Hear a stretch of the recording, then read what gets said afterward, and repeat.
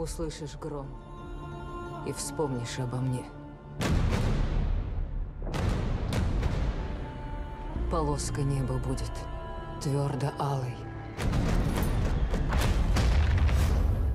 а сердце будет, как тогда.